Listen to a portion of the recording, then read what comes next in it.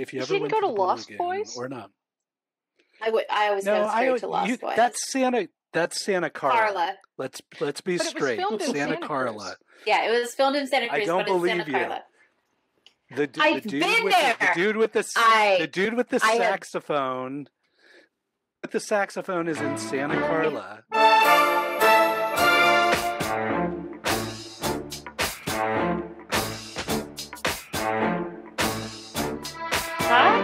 I'm Cami Kaos. And I'm Rick Turoczy. We're mildly interesting people, but this week, this week we have a guest, and she is a wildly interesting person. She's a fourth generation Cleveland Guardians fan who hates the Yankees. I mean, there's a fair amount of that going around. Uh, she has a tendency to crochet inappropriate phrases, not crochet, cross stitch. I don't know what I'm even talking about right here. Now She- crochet them. Can you? Can don't you crochet? I've Okay, well, if you if you learn Maybe how, a I nice really love owl, something like that would be great. superb And how's an owl. a- how's an owl inappropriate? Oh, that's macrame. Sorry, that I was I was even into another. do macrame. There. Okay. Mm. I Let's was get just back to making the a Super Bowl introduction. joke. Let's get back to the introduction. With one of her best friends, she oversees the largest database of queer, transgender, and non binary women in television, in scripted television, um, but they're branching out right now. And she has a tendency to make her friends cry. And I know because she's one of the closest friends that I have. Um, everyone, I would like to introduce you to the lovely, the charming, the talented, the vulgar Mika Epstein. I I think the only thing I can I can go is, hey, I'm I don't know that I'm a superbly interesting person. I'm mildly interesting depending on who's who's watching and listening. But yeah, that that's that is absolutely me. And I do not mean to make her cry, Rick. I'm so sorry. It's fine. I It's find good- you it's good with wildly interesting. Yeah. Oh, Rick is And saying that- good. Thank you. and, and that's why that's why we set the bar low with mildly interesting. So you don't you don't need to worry about being any anything more than that. Um, it's our job to draw out those interesting points from you. Uh, so I, uh, given that you are such close friends, I know you talk on a regular basis. I'm not privy to a lot of that Slack We chatter, text. but We, Yeah. yeah. but We we where we have we have verbal communication in an emergency situation or when we really need to talk shit. I Where mean, do- Cami where- talked me down from a panic attack. Uh, So, uh, you know, our friendship is uh, very large and encompassing. where did it begin? Was it the same WordCamp US? Or I'm sorry, the same WordCamp San Francisco that you and Tracy founded LezWatch? I think it was. We went out to di- uh, breakfast. We went out to like a brunch Yeah. with. Uh, so 2013. yeah, yeah. Oh my Okay. god, our friendship is 10 years old. happy birthday, friendship. Happy birthday, friendship. Uh, I was with a then friend who invited me out to meet the new employee at uh, Automattic. Yeah, no, that's what happened. You had just oh my started. gosh. I, was brand new. I was were a few brand months new, into yeah. my I was a few months into my gig, Yeah. yeah. And uh, Yeah. I have absolutely no idea why I was brought along on that lunch. Just happened to be friends with two people who Cami happened to work with, and Cami and I kind of hit it off, and we started chatting as those casual friends. But I remember the, the the turning point, and when I thought I have to be her actual friend, friend, is that I was searching a WordPress thing for my name, and I kept getting Cami Kaos instead of Mika because see how her name is M I K A in there. And Mhm. um, I was like, oh, right, that's this Cami person that I met. And I was like, okay, well, now we just have to be friends. And that's the end of that. And uh, it stuck. And On, that's awesome. on my end, I just I thought Mika was way too cool for to be friends with me, so it was a little. I had some I had some self doubt and reservation. I was like, she's so cool. Cami she's and so my wife are literally the only people who think I'm that cool. Everybody else, You know is like, what? yeah, uh, you're an interesting person. I don't. I never got cool in school ever. We're I was weird. We're smart. We know. Well, I'm a little weird too. So Yeah. No, we Um, we have a lot in common. We're born in the same year.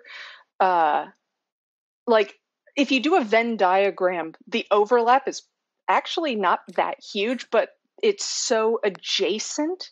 Like and it's, and strangely specific things. yeah, like very Yeah. oddly specific things that we have overlap on. Uh, and it just when you started the our our little private book club thing, We have a private book club. Yeah, it it helped us get through the pandemic. Well, we started it. You started it before the pandemic. You just announced to me one day, "I've made a book club and you're in it." and I can be a little bossy. and and I said, "Okay." And then since then, the people in that club, like, if it wasn't for them, I don't know that I would have made it through the pandemic, the the lockdown part. We were having uh, uh, one hour chats, the group of us, every third, every Wednesday, every Wednesday. Wednesday. Yep. Uh, Yep. And it it really saved me, I think, because like there was a, I had been traveling, like going out of the country traveling for work almost every month for, you know, that time eight years. And I didn't know how to be home all the time. And now I do. And now I'm like, I don't want to travel all the time. Are you kidding me? Although me I am the- I mean, I'm the person though. I get up every morning, I put on work clothes, and I go to work. I don't work in my pajamas. I don't work in sweats. A WordCamp T-shirt is fine because I work in WordPress, so it doesn't really matter. But like, I'm still. I have my office. It is its office. When I leave this room, I stop thinking about the office. Um, mind you, that's in part because I have a phenomenal job with wonderful humans that I like quite a bit. Uh, but yeah, no, it just she pulled me into her circle and it's very comfy here. So when did we start doing the texting thing? I'm trying to remember because I know it was the middle of the pandemic and I can't remember why we started doing that. But like it was late one night and I had a random thought, so I texted it to you. And and that opened that, up the floodgates. Then there was Like- just always texting. Like every night basically one of us thinks of something funny and texts it to the other person sometimes it's like i was watching family feud which i don't understand the rules of by the way i just like watching it and shouting out wrong There, answers there aren't. Oh Oh my god, I know the rules. rules. I Yeah. know the rules. oh do they make Oh, I sense. No, No. but I Oh, love good. that. okay um but like or we're watching i'm watching jeopardy or i'm watching just something random that reminds me of something cami said and i text her and then we start laughing about it uh, a lot of our conversation involves snoop dogg gifts though And Cheech and Chong. and cheech and chong and What do I have- what do What do- what do they have in- common? What do they have in common? I have this wonderful. Snoop Dogg Funko Pop that Cami gave me. He sits on my desk. He's allowed to come out of the box. You know, you can free him from his plastic jail. You don't have I to, have- but you can. I know this is a this is a podcast and not a vodcast, but if you looked Oh. over to the right hand side, it is just like a stack of papers because I have not organized that side of my life yet. Also, I, I Snoop Dogg is sitting on top of it. I haven't. Snoop Dogg is in his box still, and I'm just He's- letting Mika know that Snoop Dogg can come out of his box. I'm one of those people. Like I, I respect people who collect toys and collectibles, but like if I get a toy, I'm gonna play with it. That is my only Funko Pop. I do not collect. In fact, I've actually like divested. I got rid of so many collections. I think I have the my favorite GI Joes from when I was a kid, which is basically Scarlett, Snake Eyes, and Storm Shadow. Um, Okay. Oh, excellent collection. I have a Yep. collection of Napoleonic era toy soldiers that was a gift from uh, my uncle Arthur. I need to like put those in a frame sort of situation and have it hanging on the wall.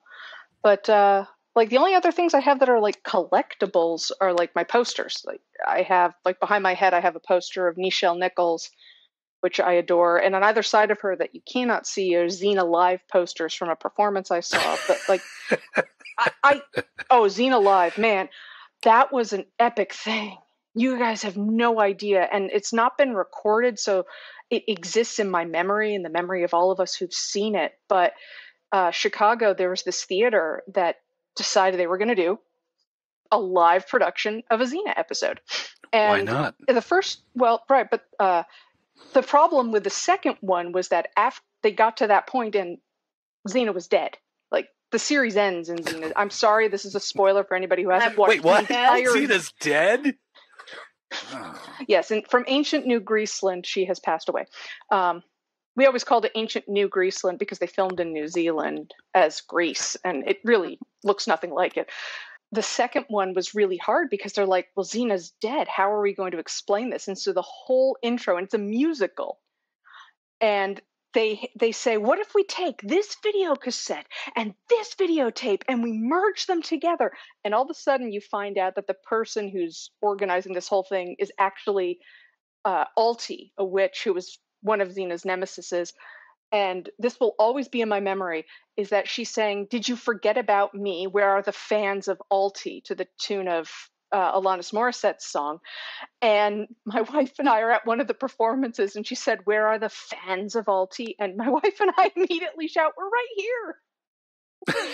and I felt so bad afterwards, but we we saw that like three or four times. We just it was eight bucks to go and see it. Why would we not? But it was Right. so funny. And jokes from that are like if you ever hear me go, no, let's take the long way, I'm actually shouting back to that play. It it just yeah, no, some things just stick with you forever. And good friends, like good plays, stick with you forever. And see what you did there. apparently how I make Kimmy cry is that she's a good friend. And I thank her for things like talking me down from a Oh boy. attack. Here we go. Sorry. All right. Uh, before I it, go- before it goes your off This the is rails, I'm supposed to be the mildly interesting person, not Cami, but here I am talking It's up Cami because she's awesome. Sorry. we're the we're the, we're the mildly interesting Woo. people. Uh, So we have touched on. It's interesting, like GI Joe, Family Yes. Feud. You've touched Yep. on Xena. TV Jeopardy. clearly Jeopardy. clearly plays a role in your life. I think this would be a great place to start talking about LezWatch TV. Tell us more about that project. LezWatch TV is the brainchild of myself and one of my best friends, Tracy Levesque, uh, who at the same event where I met Cami. uh, Good event. good event. Uh, Tracy Solid. decided Solid event. Tracy decided she was going to be my friend and that I was an interesting person. So I guess I really have to just suck it up, and I am interesting to some people. Um, and we got to talking about the things that we both liked. And as it turned out, between the two of us, we had a ridiculous amount of knowledge of queer women on television. At the time, we were only talking about lesbians, and sometimes we joke about how uh, biphobic we accidentally made the site at first. But uh, Tisk, tisk, hey, we we've learned, you we've fixed it. broadened our it. horizons and LezWatch TV, L E Z W A T C H TV.com, is the home of the world's greatest lesbian, transgender, and non binary characters on international television. This includes all scripted TV, uh, web series, and streaming. So, you know, Netflix shows, absolutely, but also streaming shows. Uh, and I'm going to pick Anyone But Me, which is a phenomenal web series if you've ever seen it. It's got some actors that you're going to go and go, hey, wait, I know that person. Uh, they've since moved on to become pretty well known. And, you know, if I get to joke back to Xena, um, the actress in Xena, Alexandra Billings, who is Uh-huh. insanely famous. Like, if you think Alexandra Billings, why do I know her? If you've seen a trans woman on TV in regular scripted TV in the last five or 10 years, it's possibly her. She was just like the person. She's been on um, How to Get Away with Murder, Transparent. Uh, what was she on just recently? She was on uh, The Connors, the Roseanne reboot like Mm. she just she's all around and i've got her autograph uh, because she was in xena live 1 double your pleasure which was about xena being split into lover xena and fighter xena and alex billings played fighter xena and she was so good but uh, that's like my first experience with her um, but all of that came actually right into lezwatch because we're like well okay here we have xena she was gay queer. Xena didn't care. Xena had no, Xena was Mhm. the prototypical pansexual over there. Um, and Tracy and I built out this site where we listed all the characters from the TV shows, all their actors, and she and I built this entire massive database. It's built in WordPress. All the code is open source. So if somebody wants to make a, a male version for uh, predominantly gay male television, please take the code and run. I, I would love to see what you do. Um, I just don't want to watch all of Queer as Folk again. I liked Queer as Folk, the British version, and I kind of liked the American version, but American versions of TV shows go on so long sometimes, and like they need yeah. to accept that there is an end and actually have an ending. I'm looking at you, Warrior Nun. I have a question for you. I have a I have a technical question for you. Talk to me, please, about how okay. Sarah Lance messed up oh everything. God.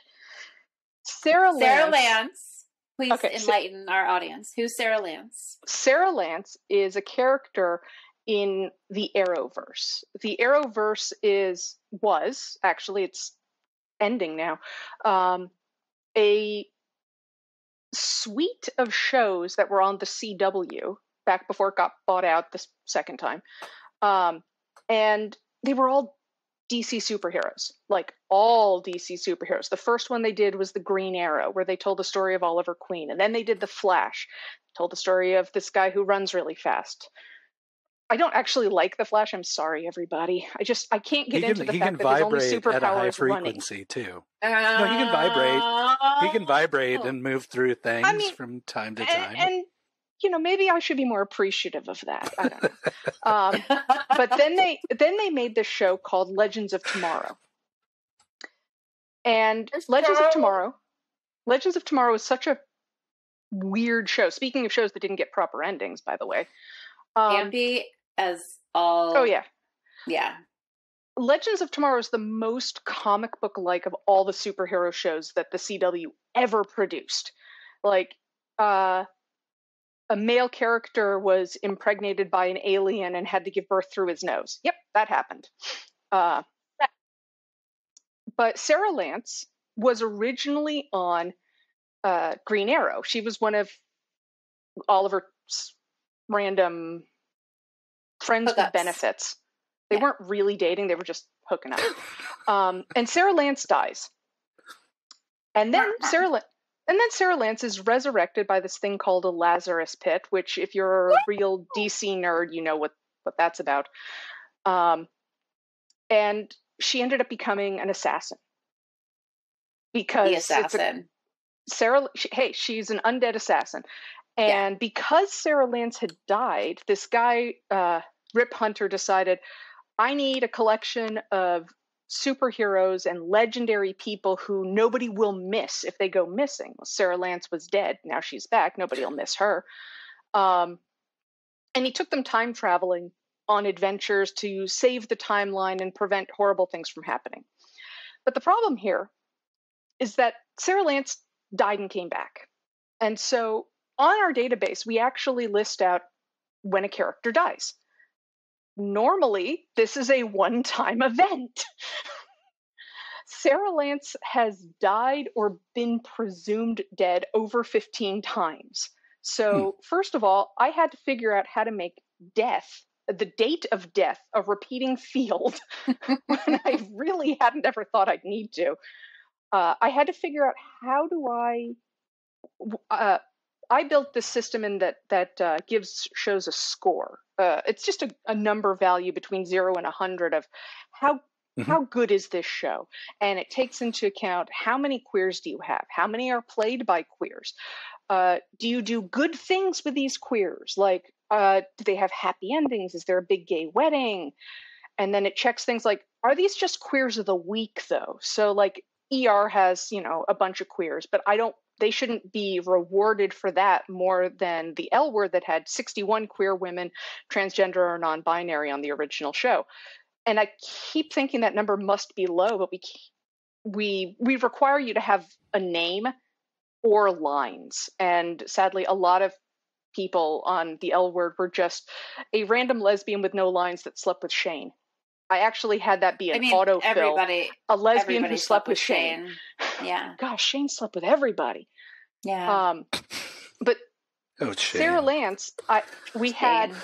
Shane was hot though. What? I mean, I know. No, it's fair. I'm not. I'm not Uh, arguing. Sarah, that so let's see. Sarah Lance hot. was on The Flash. She was on um, uh, Green Arrow. She was on Legends of Tomorrow. They added a new show, Supergirl. She was on that. Add another new show, Batwoman. She was on that. You name a show in the Arrowverse, Sarah Lance has been on it. So basically, everything that became super complicated. How do I list this many shows? How do we list when they're on this show? Because that actually matters. You know, you want to know, oh, I don't need to watch all these episodes if I want to see Sarah Lance and um, Alex Danvers hook up at a wedding. I want this episode. And yes, that happened. It was great. We all loved it. Um, but and then Katie, Caity Lotz is ama- Caity Lotz plays Sarah Lance, and she's amazing. But you know, it it just factored in. Oh wait, there was another actor who played her originally in one scene, so we had to add that. And essentially, the heart of the database, the way that we had to build how it inter- interconnects in a way that was friendly to visitors and also was not going to crash my server every time. Uh, it, that took a lot. It was Hmm. yeah, that was the she was the most difficult thing I had to solve. The second most difficult thing was a very hilarious moment where every single character we had added for uh, Orphan Black showed up as being played by Tatiana Maslany.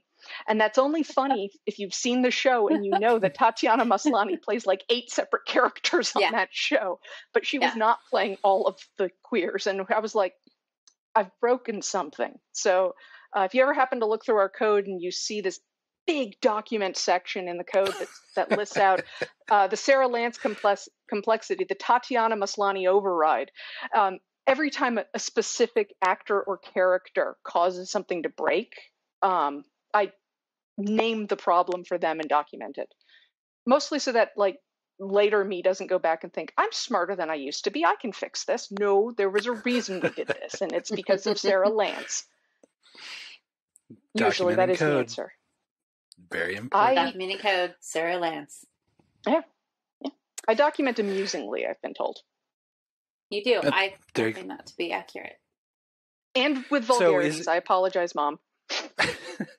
so is She's it not just? really sorry, Mom. I haven't Don't tell done my mom that. all my research that I need to do, but is it just? Does the database just rank by score shows, or do you also delve into like characters or actors who? don't rank characters. We certainly would never rank actors because that's just that's the I don't know that just strikes me as like a way to accidentally insult somebody. Mhm. Uh, and Yeah.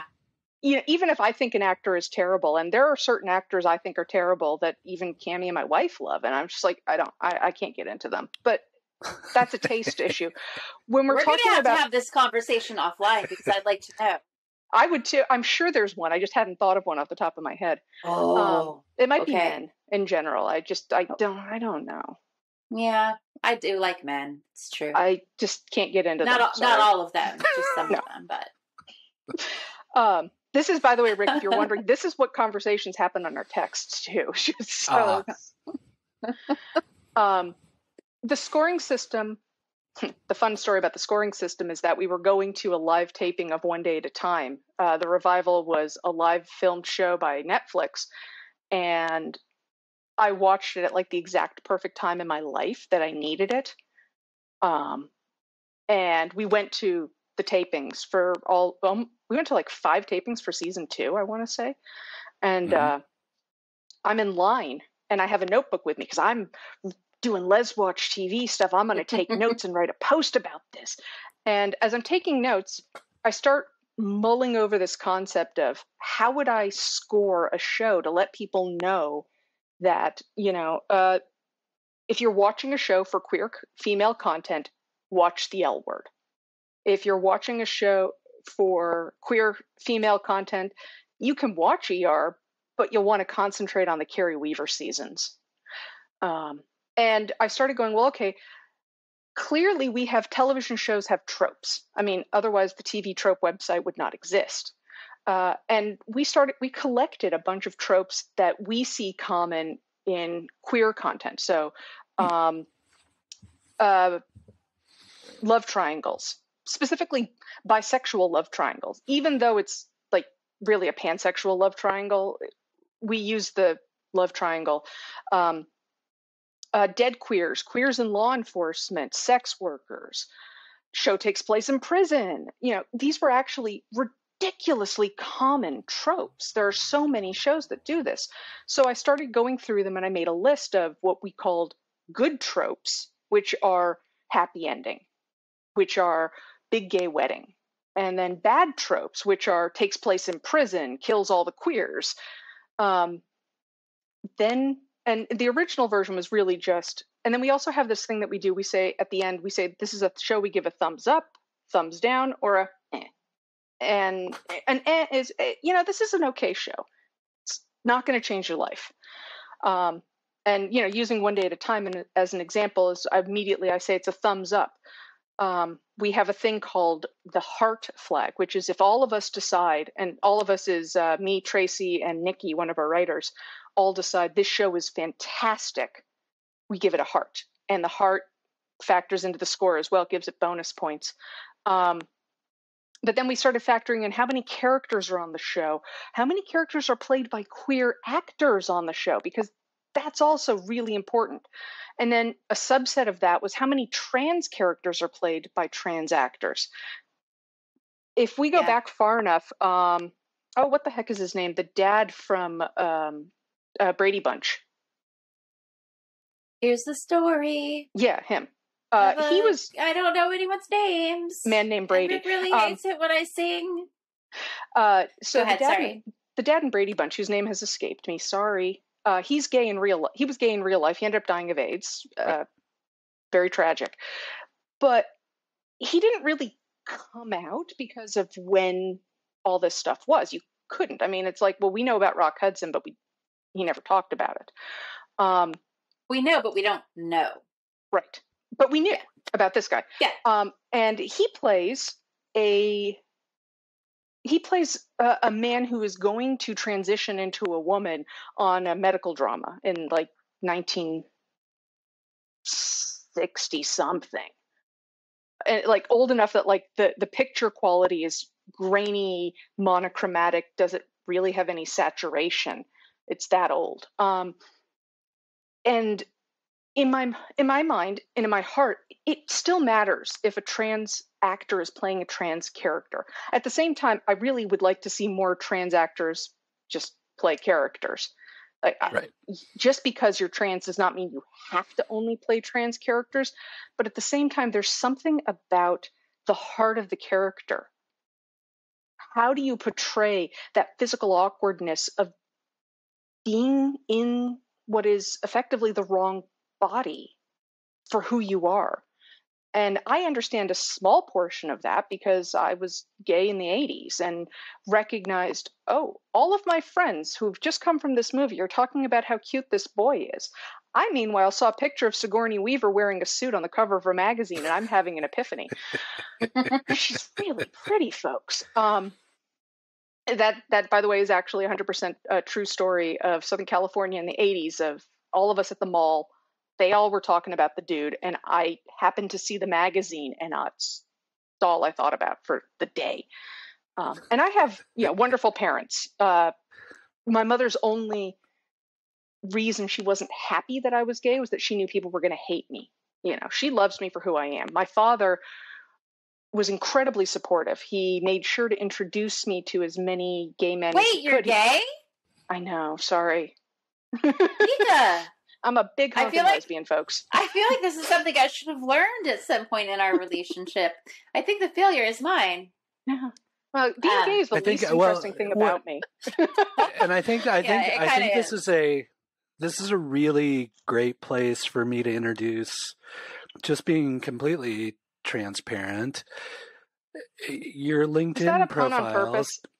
yeah, your LinkedIn profile says you're a professional Oh yeah, lesbian, and I I have to admit I didn't know there was like a pro am ranking in the lesbian world. Oh, yeah. Like no, no, what I, I, what I went what pro a few what years do you ago. have to do? Yeah, yeah. What do you have to do to exactly become pro?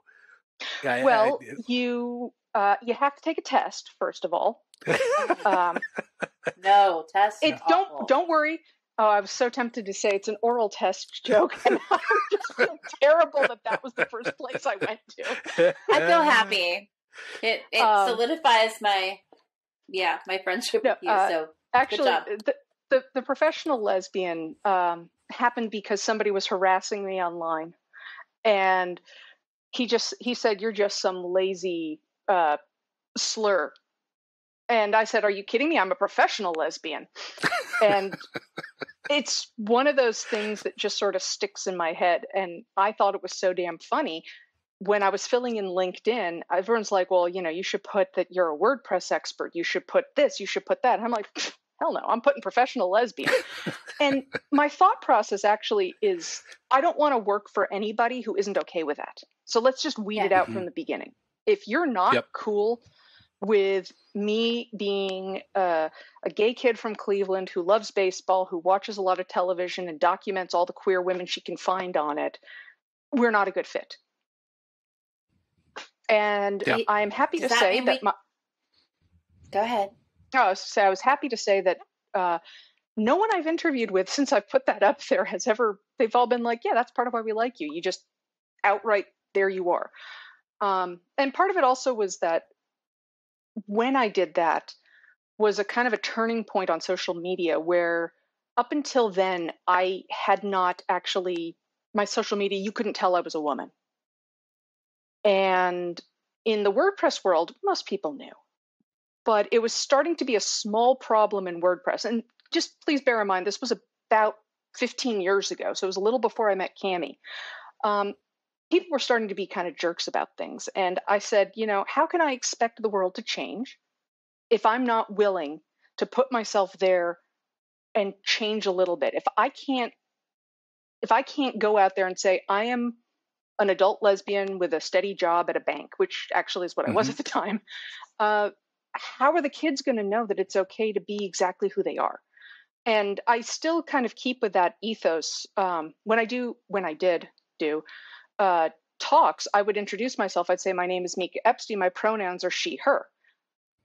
I'm cis. My pronouns are just exactly what people assume they would be when they know I'm a woman.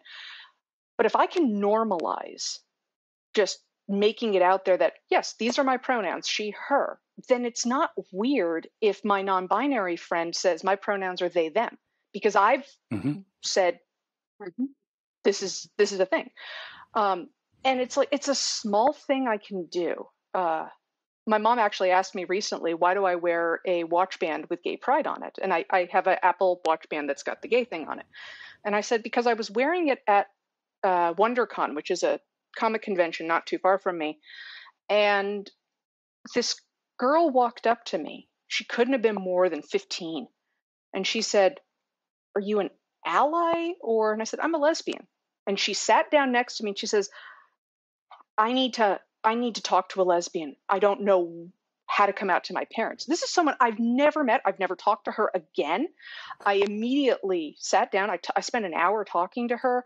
Uh, i introduced her to a group that i was about to meet up with and she immediately was enveloped by people who loved the same things she did who were also queer. And that's why i do it.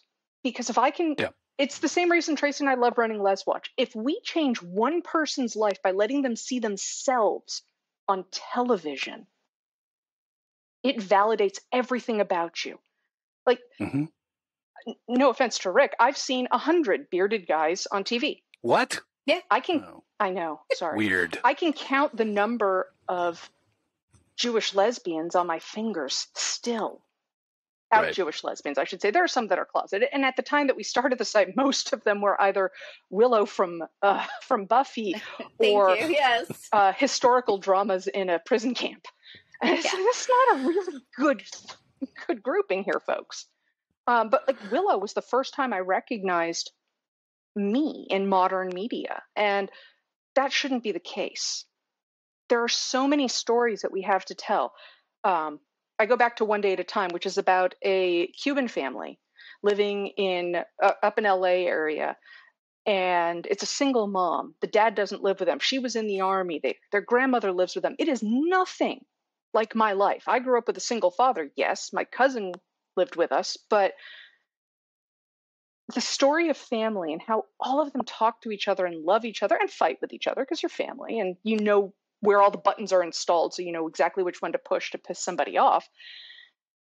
Yeah, that one. Um, if if I can connect with a story like that, if I can see the other side of uh, one of the characters comes out and her mother is like, I don't know how to deal with this.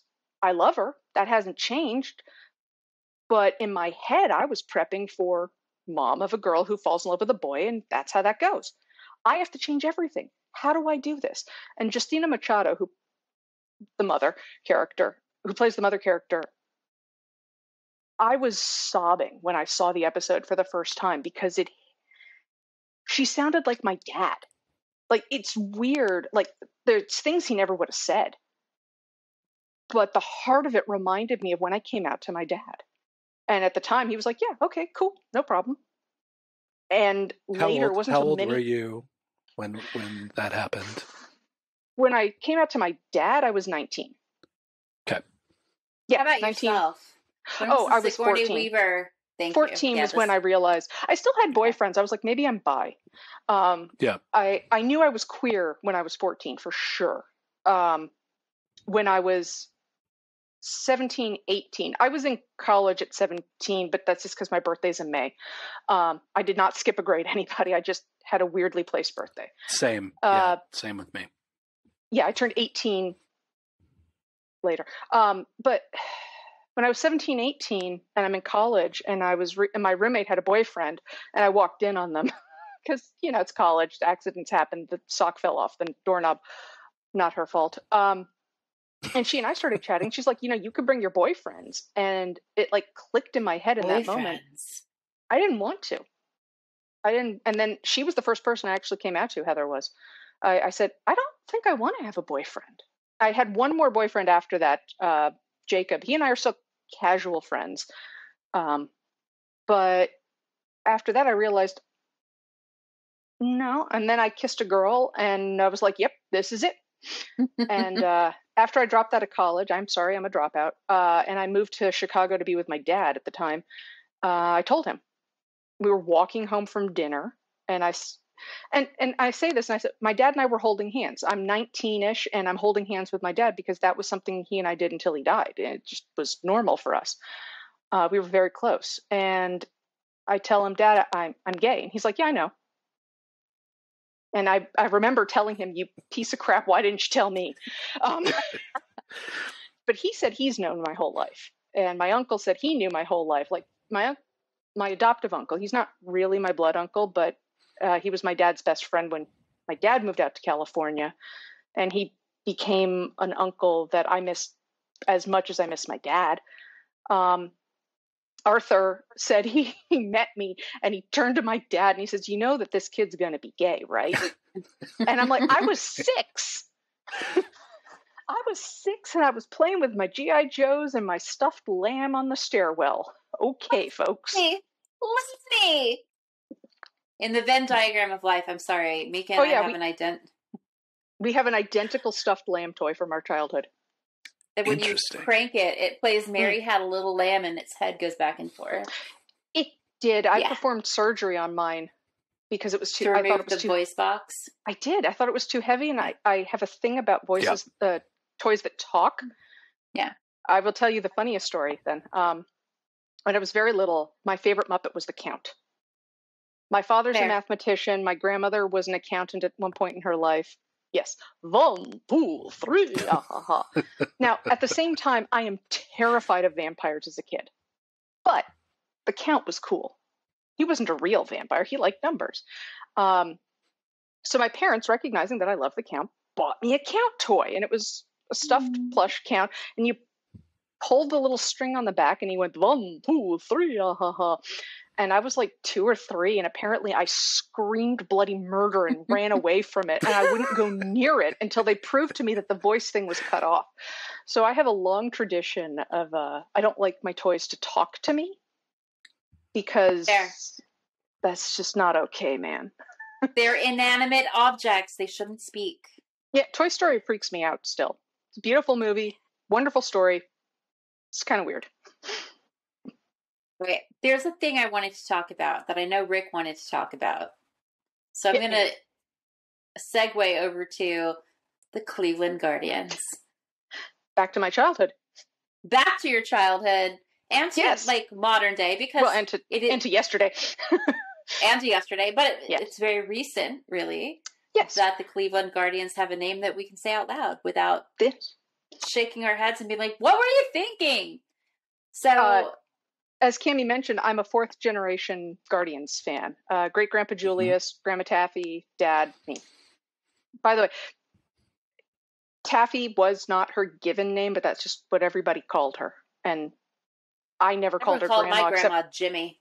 So I called her grandma once to get her attention when she was being particularly stubborn, and boy did it work. Um, she was so I think mad. she didn't like that very much. No, no, not at all. No. But you know, she recognized why I did it. Um, I grew up listening to baseball on the radio, sometimes watching it. Uh, went to baseball games with my dad. When I moved out to Chicago, by living by myself, I decided to take myself to uh, baseball games at then Comiskey Field because it was five bucks for women on Mondays. I had no money, so five bucks for an evening of entertainment for it's like four hours. That seems like a great, Yeah. and it's a buck on Yeah. the train. Cool, Yeah. two bucks if you get a round trip. Um, and but I'm a longtime Cleveland baseball fan. Uh, and around the time the Cleveland now Guardians uh, went to the World Series for the first time in my lifetime, which was in the 90s, um, I was in college and they were the Cleveland Indians with a horrifically racist mascot uh, logo called Chief Wahoo, who was a caricature of a Native American. And that was kind of the first time that I recognized oh, this is not just kind of haha bad. This is a terrible name. And uh, internally, I stopped calling them the Indians. I started calling them the Cleveland baseball team. Um, my family, being given to puns and stupid things, uh, have often referred to Cleveland as Cleveburg because there's Hamburg and Cleveland, and we just thought Cleveburg was funny. Uh, so I started calling them the Cleveland Cleveburgers. Come to the advent of autocorrect, they became the Cleveland Cheeseburgers because autocorrect decided that's what it was. We all thought that was so damn hilarious. I just kept calling them the cheeseburgers. So I had not called them by their proper name for, gosh, a good 10 years uh, when they announced we're now the Cleveland Guardians. And I know so many people are like, what? But if you grew up in Cleveland, and in my defense, I only lived there until I was like six or seven. I went back all the time for family. Um, there are these kind of Art decoy I always used to imagine that they were designed by the dwarves from Lord of the Rings. They're like that kind of style. Um, statues, kind of, uh, of one of them's holding a truck, one of them's holding a car, and they're called the Guardians of Traffic, and they're on this bridge that goes right past the baseball field. And the minute they said Guardians and they showed those, I was like, oh yeah, that makes perfect sense. The Guardians of Traffic. And you know, we can joke that Guardians meant that they removed two letters and added four, or added three actually, G U A R. And now, ha ha ha, the name has changed. It was Mhm. the least number of letters to change everything. Um, but really, the name suits the suits Cleveland. And I know there are a lot of people in Cleveland who are still upset about this. And I know that there are a lot of people outside of Cleveland who are thrilled that it's changed. And I happen to Mhm. be one of the people that is delighted of the new name. I, I find empathy is a hard thing for the world, you know, and recognizing that you're wrong and that you've made a mistake. And in the case of Cleveland, one for, you know, like a hundred years, like the, the old story, ah, yes, we named it for a Native American who played for us uh, Sockalexis. But the thing is, is if you start looking into that, the story never held up. Yeah, And- that doesn't check out. Right. And mind you, pre internet, it was a little bit difficult to look that up. Once the internet became a thing, you know, mid 90s, all of a sudden you had access to all this. Uh, Cleveland would not show you, for example, the protests about the name if you watched the Cleveland television. And since we were listening on the radio when we weren't in Cleveland or reading the newspaper because we literally couldn't get the game in California, you know, you, you didn't know. And when it hit the World Series, though, that was when the regular news started talking about it and that was sort of how i figured this out and maybe that's why i'm like okay with admitting when i screw up now is that like Hmm. i saw that mistake and i saw how it was hurting people when it wasn't corrected and i thought well, that's not cool uh i'm, I'm going to own up to my mistakes well that and taffy was pretty big on if you mess up just be honest it'll go a lot better for you and she's not wrong We just Uh, got real deep there in case anyone missed it. That Sorry. was like some like deeply rooted childhood trauma that like surfaced as Mika being a loving and responsible adult. a lot of the reasons that i'm a good person is that i'm embarrassed of the things that i did or didn't do as a kid yeah rick laughs but like okay um i went to Rick boarding laughs school because he understands. Yeah. I went to I went to boarding school for three years. Our we were talking about mascots at some point, and I said that my mascot was the oak tree. Uh, not a great mascot for a high school. Fighting oaks. What are they fighting? Forest fires. We we ha- we didn't have a mascot. We just wore the oak They're tree on our uniforms blight. and called it a day. Um, and uh, I'm on the train coming. I used to take the train. It was in Santa Barbara, and at the time there was a train station in the town that I lived in. It no longer exists. I lived in a town called Del Mar, which is in Southern California. It's got a racetrack. It's uh, quietly famous, um, and it, it had a tiny, smaller than my apartment train station. And I would get off at the train station and walk from the train station back to my house. My parents wouldn't pick me up because why bother? You know, it, it's 10 blocks. I can walk that. Um, but I'm on the train coming down from Santa Barbara. And around the time we hit Los Angeles, which is the halfway point, I remember this so very clearly. There was a uh, an Asian uh, a Asian pair of old ladies, little old ladies, you know, 80 years old, all stooped over with canes and the whole nine yards. And they were sitting in front of me. And they got up to go to the club car or whatever and get a drink. And when they came back, this grumpy old guy had come in and sat down on their seats. And they didn't speak very good English, so they had a very hard time explaining what was going on. And I didn't speak up when the conductor came by. Somebody else did eventually. Um, but I remember so clearly thinking I should say something. I should say something. They were there first. These are their tickets. Uh, I ended up giving up my seat to them so they could sit, which is nice of me. But at the same time, you know, it was always in the back of my head, I should have done something better. And I talked to my dad about it afterwards when I got home. He's like, So, how was the train ride? I said, Well, this thing happened, Dad. And he said, Well, what are you going to do next time? I said, Next time I'm going to speak up. And he said, Good, there you go. You've learned. And he, he told me, you know, don't don't let having made the mistake eat you up. It's hard not to, but Yeah. let it help you become better.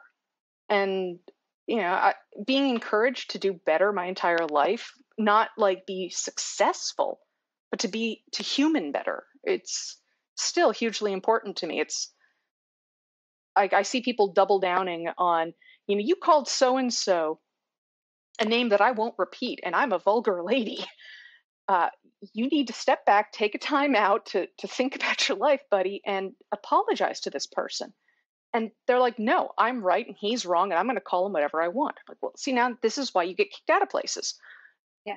And it's hard to admit you're wrong. It's hard to recognize your own flaws and the mistakes you've made and then actually change. Uh, but it's important. We got to do it. How are we going to Yeah. make a better world? Which I'm aware is a totally deep Jewish thing of we are not concentrating in making a better afterlife. We're concentrating in making the world better for today so the next Mhm. person has it easier. that we make a better world for everybody. Don't concern yourself with the world to come, concern yourself with this world. And it's just kind of been a fundamental part of my meanness my entire life. So, yeah. Sorry, That I went deep again. That and I don't call why I like Taffy. Don't call Taffy grandma. You no, call and don't Taffy call Taffy. Taffy. grandma. No, no, Yeah. uh, yeah, she had heart surgery, and they were trying to wake her up. And apparently, the way they wake you up from a being deep under is to say your name a bunch of times, you know. But her given name was Harriet, and so this poor guy is sitting there next to her, going, "Harriet, Harriet, wake up!" And nothing's happening, and he's starting to get worried. And the doctor walks in and says, "Try telling her, Ta- try calling her Taffy." And he goes, "Taffy," and she sat up.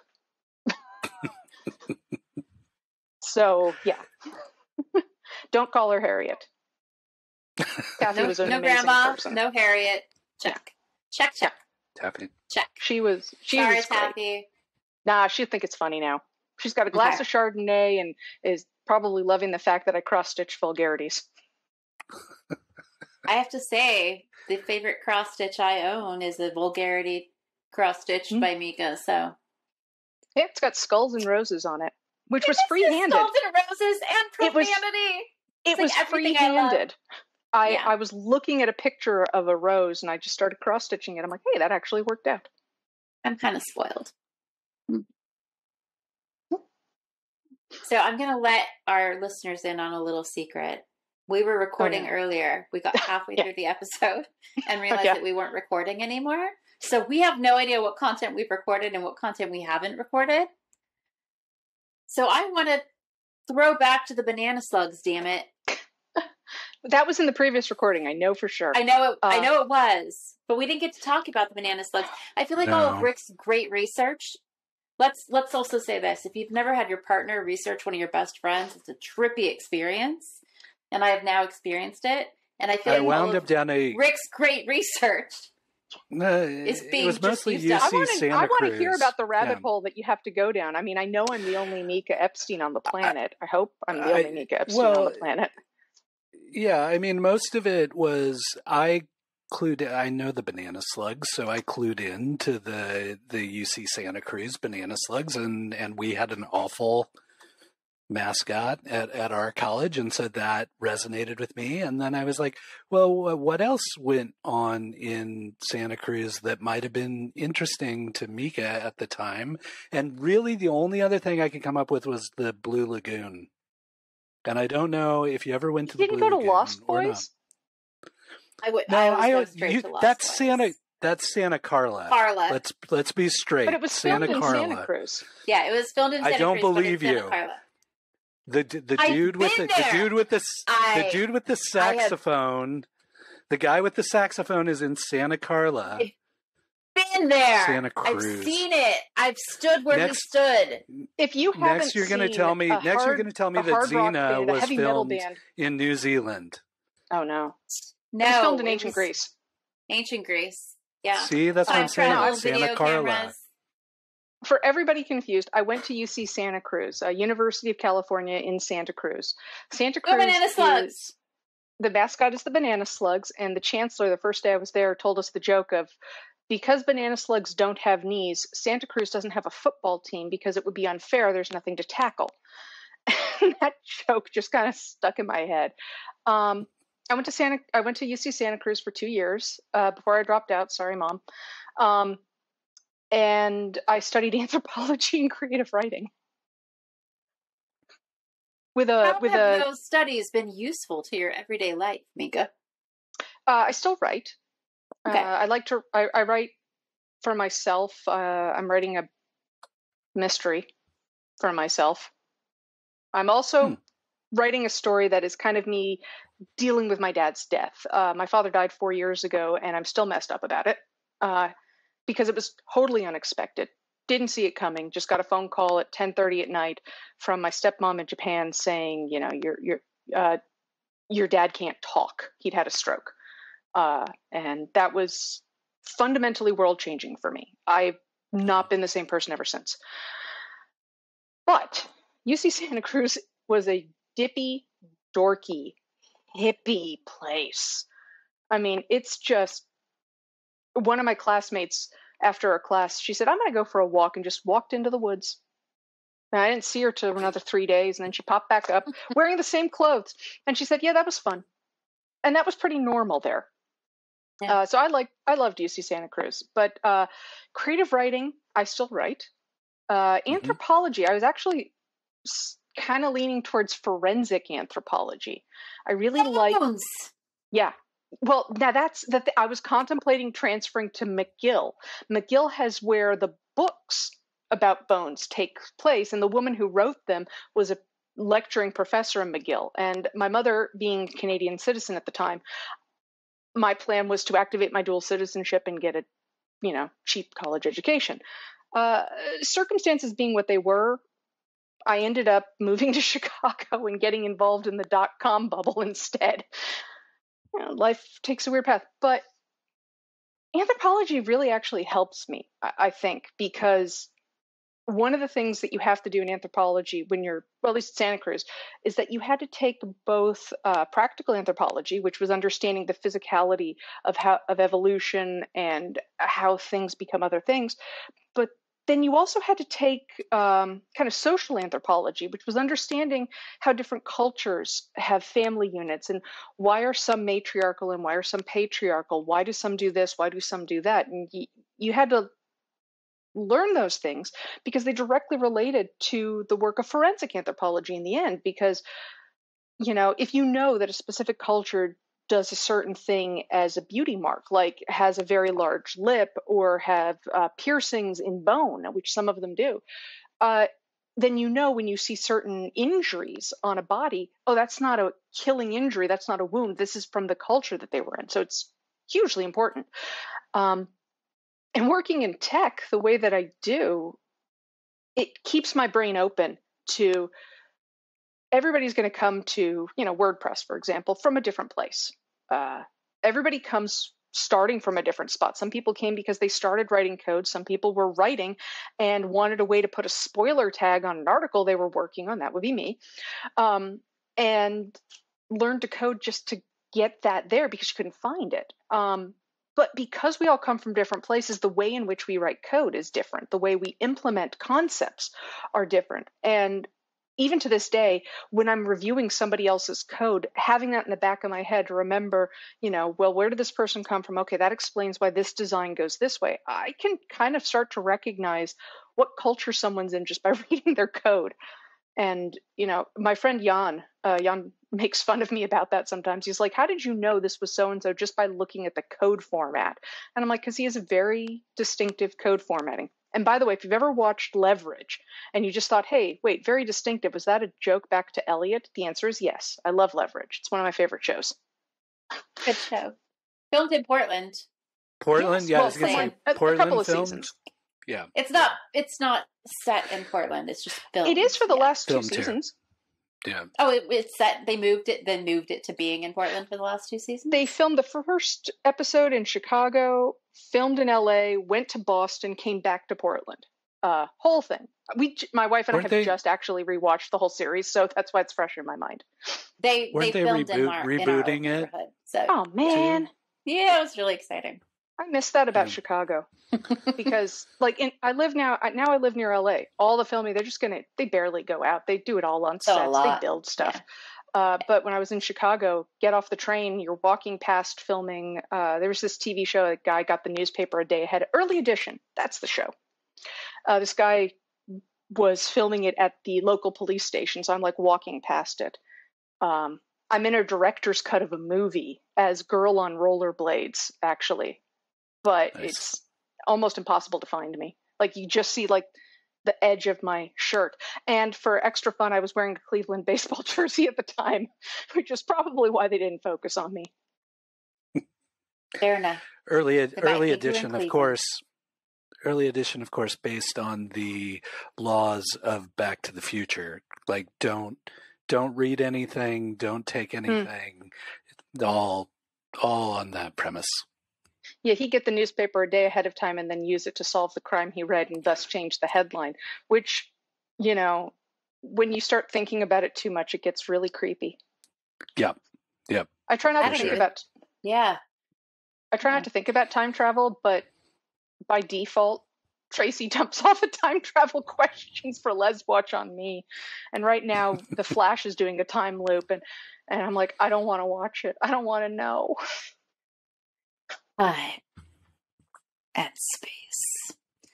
Talking of time, I believe we're coming Yeah, up we're on getting an hour. close. my friends. We are.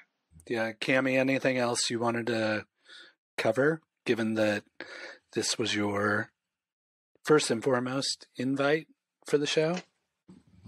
It was in case in case anyone ever wanted to know who the first person I invited to do this show was. It was Mika. I'd make heart Um, hands, but I can't. So just pretend I Yeah.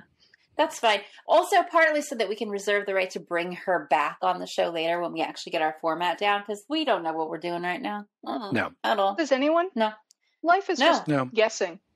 Yeah, if somebody had told me adulthood meant that it was just multiple unplanned moments of chaos, not sequentially, but at the same time overlapping, I don't know that I would have been in such a rush to grow up.